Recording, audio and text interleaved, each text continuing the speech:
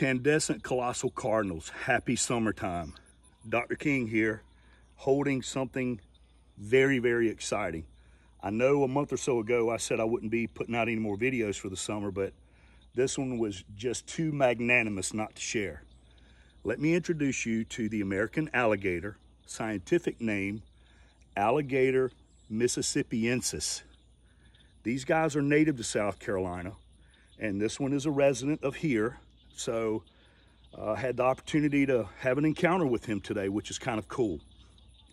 Alligators are known as apex predators. That means they are at the top of the food chain.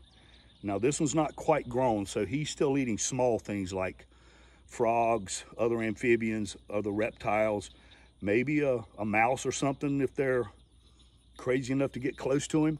But as he gets older, the food gets larger too.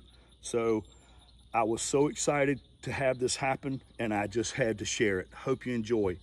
Now, a question. What's the difference between an alligator and a crocodile? One says, see you later, and the other says, after a while.